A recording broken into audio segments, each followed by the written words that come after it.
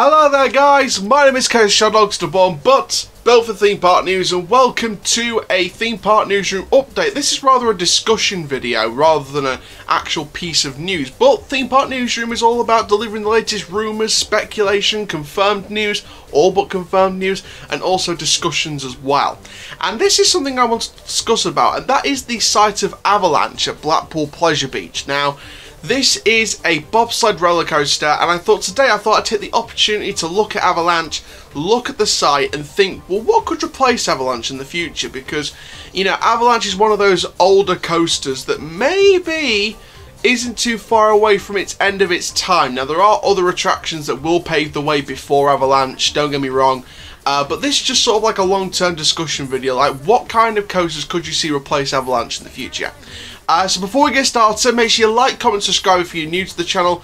Make sure you uh, subscribe as well. Click the notification bell so you never miss a YouTube video. We are getting closer and closer to 2,000 subscribers and we're halfway to 1 million views as well, which is unbelievable. So please, please go and do that. Uh, make sure you also submit your video ideas using the forms link in the description down below. You can also vote for me in the Clamshell Awards. If you're watching this in the future and the vote isn't open, maybe I've won an award by now. Uh, but obviously if you're watching this while the vote is still open, you can still vote for me. Link should be in the description down below until the vote closes. Um, and we'll see what happens. But please go and vote for me if you haven't already and if the vote's still open. Thank you very much guys and for now let's have a look at Avalanche. So before we look at predictions and a couple of coaster suggestions of what I could see in the site, let's have a look at the coaster's facts and stats by itself. So Avalanche opened on the 22nd of June 1988. It is a Mack custom bobsled coaster with a length of 1,490 feet of track and a duration of 1 minute 22 seconds. So this has been around for a very, very, very long time. Uh, so think about it, 2023, that'll be the next sort of major anniversary of this coaster. Um, and you know, that is the, the 35th anniversary of Avalanche, which is a long, long time. And then obviously 2028 will make it 40 years of Avalanche, uh, which is a long time for a roller coaster. Uh, now, for those of you who need a little bit of history on this ride, it was the first bobsled type coaster to be constructed in the U UK. It was the third bobsled coaster built by Mack Rides in competition with Intamin. It was opened by Eagle, Eddie the Eagle Edwards, known as the Eagle. So uh, that was very interesting. Of course, themed around an alpine bobsled track. Um, and, you know, overall, this is a very, very smooth wintry ride. So let's have a look at my thoughts on what kind of coasters I could see in this particular site. Now if you look at what I've circled there, you can see I've also circled the Grand Prix. Uh, I think that ride will go. I think the Thompson's uh, uh, car carousel, vintage carousel, that will get relocated to somewhere else in the park. Uh, and, you know, obviously I think we're going to see the removal of the Grand Prix along with the Avalanche. Uh, now, obviously the Big Pizza Kitchen Avalanche, well, the Big Pizza Kitchen takeaway will obviously, you know, neck near Avalanche will um, be renamed. Obviously, it won't get removed; it'll be renamed. Um, but if you look there at that site where you take Avalanche and the Grand Prix into effect, um, you can see it's a massive, massive site, and you can see there's a lot of room of potential development. Now, in my personal opinion, I think there's three different types of coasters, and I think it's three coasters that I could see Blackpool Pleasure Beach adding at some point.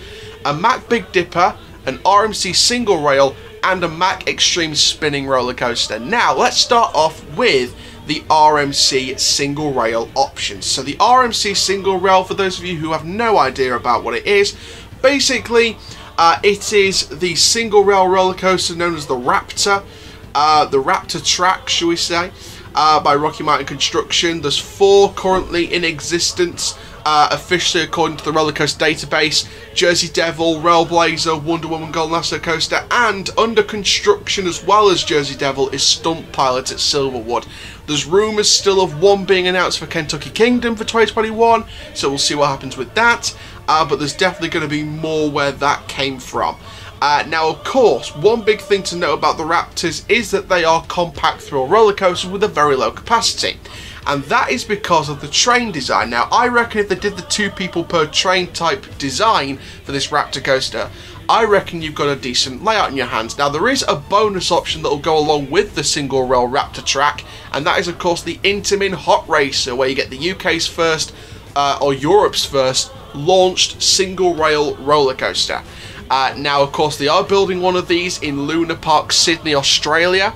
Uh, for 2021, we did a report on that, and you can check out those videos. They were only uploaded a few days ago. But I think the Intamin Hot Racer, again, is another concept I could see being added. You could even, if you wanted to, do a dueling version if you wanted to sort of make it that big of a site. And I reckon you could go for the, the dueling single rail launch, the Hot Racer dueling launch coaster by Intamin. So they could go for the Intamin version or the RMC version. Now, the next concept going into this now is the um, Mack Big Dipper. So we're looking at something like Lost Gravity at Walibi Holland. Or if you want more examples, uh, there is another one called Dynamite at Freizeitpark Plohn, which is the more recent example. So these ones don't take up a lot of room. They are custom layouts. And uh, again, again with this one, I think we're going to see another custom layout if they were going to go with this particular type of coaster. Um, and, you know, I think overall we're looking here at um, a one-of-a-kind coaster. I think a Mack Big Dipper, many people have said it's been rumoured for quite a while that we're going to see a Mack Big Dipper coaster coming to the park. And, you know, it's been rumoured for a couple of years now, and I'd like to see a Big Dipper come to the park, whether it's in this particular site, or the Infusion site, or wherever. So, it is going to be interesting to see what's going to happen here uh, with a Mack Big Dipper at Blackpool Pleasure Beach. But I would like to see that coaster somewhere in the park. If not the Avalanche site, somewhere else in the park. I mean, imagine a Mack Big Dipper over the Infusion site over some water. That would be a really cool coaster. Uh, but I then I think with the removal of Infusion, it sort of leaves a gap in their lineup in terms of they'll have no suspended or inverted coasters. So I think a bonus option for the Avalanche site, uh, if they do remove Infusion for a Mack Big Dipper, I think you go for the suspended thrill coaster by Vekoma. I think you go for something what like what Tripsdrill's done with Hals über Kopf. Um, and you know, I think a park in China is planning to add one of these as well. And I know Tayto Park's planning to add one of these for 2023 now as well. So um, I reckon you go for the suspended thrill coaster. If you could do the sort of dueling package, like what Tripsdrill's done, like what Tayto Park is doing, if you go for the Family Boomerang and the Suspended Thrill Coaster and put both in the Avalanche and Grand Prix site, again, that could work. Now the other example, the final example, so the Suspended Thrill Coaster, Family Boomerang package and the Intamin Hot Racer are bonus two options to make it a top 5.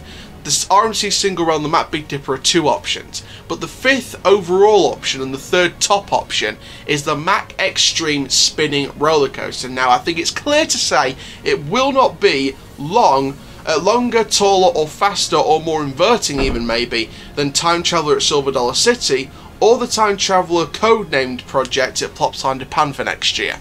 I think it'll be less taller, less longer, less faster, maybe more inversions than the Silver Dollar City one, and maybe um, more inversions than the Plopsaland De Panne one, but probably not. I think we could. I think if they were going to add one of these, I think it'd be the same level of inversions as Silver Dollar City's Time Traveller.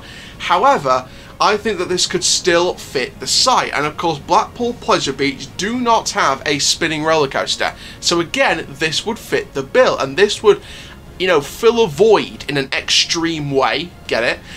Um, this would be an extreme filler of a void left by Blackpool Pleasure Beach, and that is a spinning roller coaster. And again, this is an option I would like to go with. So I think all five options, including the two bonus options, wouldn't be bad. So I think my five sort of predictions for this particular site.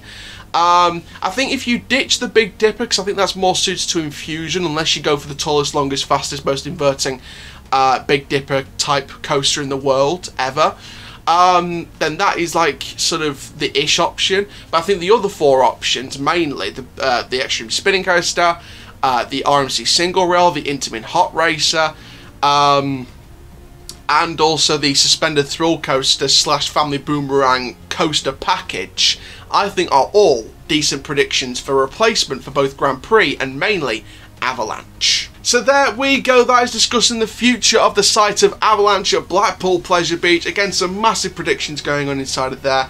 Um, but thank you very much guys for watching this particular video. I'm going to get off and watch the Carlisle Doncaster match second half. Thank you very much. My name is Coaster Chall. Make sure you like, comment, subscribe. And for now, keep living the coast life. And I'll see you guys next video very, very soon. Take care guys. Have a thrill-tastic day.